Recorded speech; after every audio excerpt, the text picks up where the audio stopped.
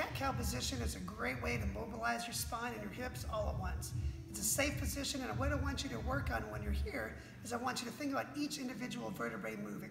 So I just don't want you to simply be here going back and forth like this. What I want you to think about is each individual piece and focus on each vertebrae moving. The more mobile you can make each one of those joints, the more, the better uh, strength and stability you'll have across that entire spine. So we're gonna begin in a crawling position here. Shoulders over the wrists, hips over the knees. Let those feet be relaxed for this one. Shoulders are backing down, back is nice and flat. You're gonna think about, going from here, we're gonna think about the three positions your hips can be in. They can be tilted too far forward, tucked too far this way, or neutral. So these are our three positions. So when we say uh, the cow position is gonna be pushing back from here. So again, I'm thinking about going vertebrae by vertebrae, piece by piece, tilting those hips, tilting those hips. Feeling each one of those guys bending forward and hanging out right there. So this is, you can think of this like your abs are off and your butt is off. You're just hanging down here. In the cat position, you think about like an angry cat.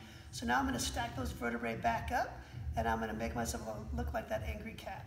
So I'm gonna start from the middle spot there. I'm gonna pull that thing down piece by piece, piece all the way down to the tailbone. And then I'm gonna think about reaching my back to the sky. If you wanna get even more, if you seem to be really tight in that lower back, from this position here, you can push back a little bit. And as you push back, you'll get a little extra stretch. So keep thinking about reaching that thing to the sky. And then from here, you're gonna go down piece by piece. So again, I'm gonna start from the top up here. I'm gonna let that thing come up. I'm gonna try to control each one of those vertebrae piece by piece.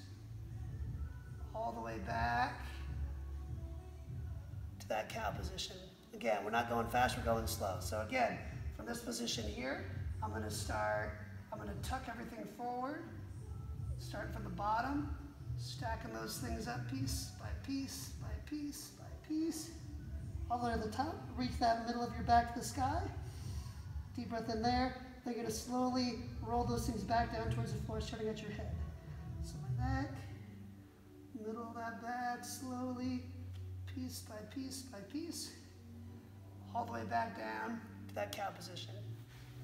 Again, this is a drill that's helping you to become more attentive and have more feel as far as where your spine is in, in space and how to control each one of those vertebrae.